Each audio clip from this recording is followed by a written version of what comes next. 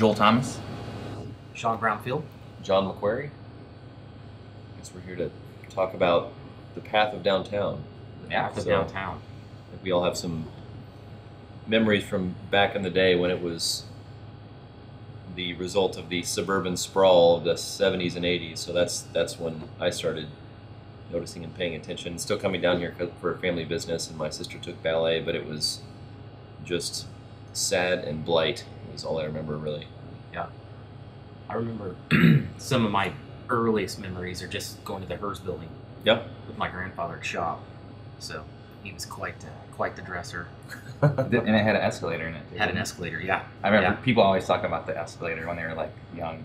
Yeah. I got here in 01, and so, I mean, when you came downtown, you came down for one specific reason, and you went to that one place, and then once you were done, you went back to Drury, was my case. So, yeah, you didn't stick around and walk around like you do now. Yeah. But What do you What do you remember as a kid down here? Um, it was really just like you guys said. It was stuff inside a building. So it was, ironically enough, a lot of time in the Vandivort building because my sister took ballet there. But it was not, you know, it was exactly that. It was that building and then going into our family business, and it was otherwise there, there was nothing. Not that it was terribly dangerous, but there was, you know, maybe a little bit dangerous, and there was just nothing here. Mhm. It was just empty buildings falling apart. But it's been you know, even though I don't really have solid memories of, or any memories really of it being the thriving downtown that most American cities were back in the '60s and years before that, I, you know, it's, you know, something you know about, you learn about from from family members, and you kind of strive for that again. Anyway, this is what's developing now is kind of a different version of it. You know, unfortunately, it's not the thriving retail it once was, but you know, there there are more and more people living down here and working down here, and that stuff will come, but it's it's at least comforting to know that there are a lot of people who care about these old buildings and care about the identity of a downtown. Yeah. in Springfield. And that that's one thing that I think is is key. The amount of people that, that have like old nostalgic history that are coming back, Mm-hmm. either opening businesses, but you get to talking to downtown business owners and they, they generally have a history, you know, down here. So they have a, a passionate tie.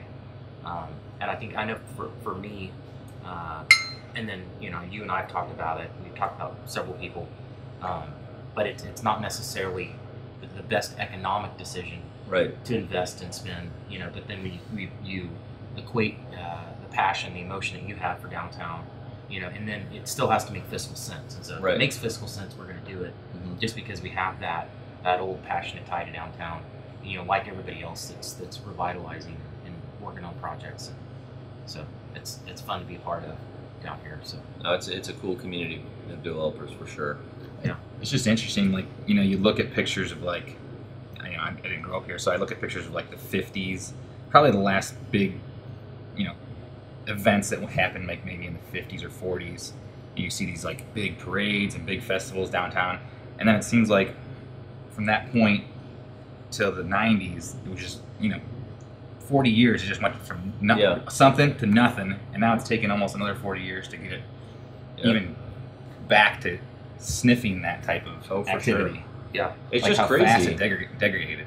I mean, it, it's it, it's tough to understand that mindset, but it was a period of 15 years of before everybody left. It was 15 years of, for some reason, trying to cover up all the history. The Heard- all these buildings put these facades on, these modern facades, which seems ridiculous to us now. And then they, you know, they left, and I mean, it's just, I don't know. I'm, I'm just glad that it's culturally everybody's starting to appreciate that again. I think that after 20 years of just strip centers, I think people crave something more, something different. Yeah. Well, it's, downtown's a lot more human. Yeah.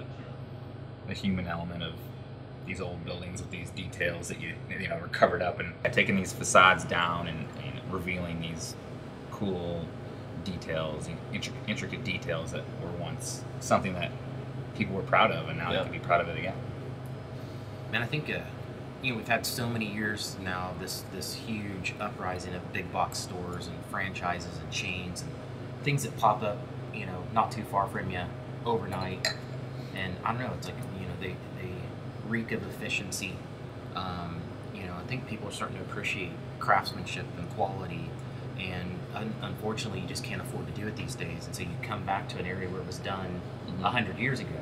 Well, now you can appreciate it. Now Mhm. you've got that craftsmanship, the detail, Good bones. the qual- yeah, yeah. Those those things that you know, all of us have a family member, whether it was a father or a grandfather or an uncle, that worked as a brick mason, Mhm. or you know, these guys, you know, spent hours on little tiny details that Right. you know, today would not be affordable. Mhm. You know, so Well, you don't got a lot of guys taking old WalMarts and turning them into cool places like this. Yeah. they just sit there and they eventually become something. But yeah, yeah. No, they go Just plow it down. Yeah. they plow. They plow them down and start over. So, but you don't do that with an old building, and, and you know if you can prevent it, if it's safe, and whatnot. But And I, I think that that's that was maybe one of the first sparks of bringing interest downtown because it's you know like you said it's never it's never easy and it's it doesn't make as much fiscal sense of doing the same thing a fresh build somewhere else in town where there's more room and you know you're not crawling over other businesses neighbors but uh, I think that that, that sense of, of uh, you know I, I think that for towns our size, especially in the Midwest, you know, we just we crave culture, and that's why these new things, you know, starting with, uh, you know, I, I, I feel like that Josh at Scotch and Soda was a bit of a pioneer, at least for this latest phase of what's happening, uh, doing something truly high end and something truly unique, and people told him he was crazy, but that demand is there. People crave culture, and I think that that's what, you know, the it's the the ability of, of some people that they took some risks, but that turned out that demand was there. So started out with some early bars and restaurants down here, and that started trickling, and then people started moving in down here, and you know, it, it just it takes a while for that to build on itself. But you know, it's things are just cranking now. 2015, that's that's a banner year for downtown Yeah. in so many ways. And that, that was a resurgence I saw as being in college during the early 2000s was people were able to take these great buildings that had great bones, buy them for cheap, Right, throw a bar in it, right, make a bunch of money. right. And so yeah, it, downtown kind of came this college atmosphere, but I think that eventually led to people going, you know what? I think I could do something cool like a Scotch and soda, a different feel than just a college bar, Yeah. but still make money. And they're kind of, you know, the, the old college bars are starting to kind of weed themselves out. You Yeah. these new, more upscale establishments kind of Right. starting up. It's no longer a college entertainment district. correct. I mean, it still is that, of course, but not exclusively anymore. I was thinking about, I had a lot of chance to sit with, with uh, Tom Billionis when he opened coffee. You think nine years ago, you know, opening a high-end coffee shop hmm that your your focus and goal was to sell as many cups as possible, to sell the, the highest quality product. You know, and then you're in a in On a very square. depressed area on the Mhm. square, no parking. Um, you know, so I think like as far as visionaries downtown, um, man, he sweat a lot of years. Yeah. Um, and I mean, he just hung in there. Uh, his family stuck by him. You know, so that's kind of a cool thing. But you know, then it's like you have you know the people come in, and he was a huge inspiration. You know, to me, Josh Widener, Myself included, for know, sure. so you get to looking at these cool things that are popping up, and it's it's contagious. Yeah. Um, you know, these guys that put a little wind in your sail, like okay, you know, okay, I think I'm willing to willing to do it. But uh, you see their risk and you think, Yeah. I can do that. yeah, And that, that that's something that always floated in my head. I, you know, Tom, I, I considered him, he's the pioneer of the new generation of, of downtown developers set the stage uh, for us, certainly. But uh, something that gave me comfort with what we were doing at the hotel was okay, well, yeah, this is a financial risk for sure, but at least if it failed, I feel like I was trying to do something that had some worth. Yep. You know, if I if I just opened up some franchise of in whatever industry uh, on the south side of town and it failed, you know, that just seems kind of soulless. But at least you know, you failed trying to do something you feel like has some worth.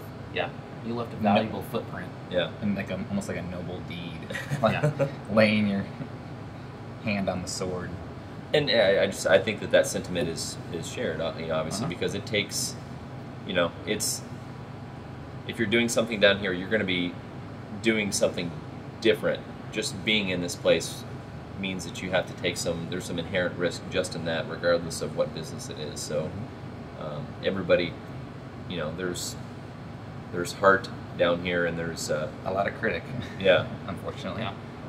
But we're changing that. You know, we're changing that. So Mhm. it, it's nice to see people that haven't been downtown in years. You know, we have people in the barbershop every day that, you know, talk about, you know, it's been years since I've been downtown. And, you know, so being able to have places like the Vandivort, you know, they come and have a wonderful dinner and, you know, get a haircut, have a nice drink. And, you know, it's, it's changing their perception, you know, mm-hmm. of downtown. And, you know, they're visiting more frequently and whatnot. And we're starting, it's like, you look at that, that pie of you know what it takes to run a downtown, and we've got all the elements to make a successful downtown. It, it may not be that we have the, the right portions you know, yet. We need definitely need more retail.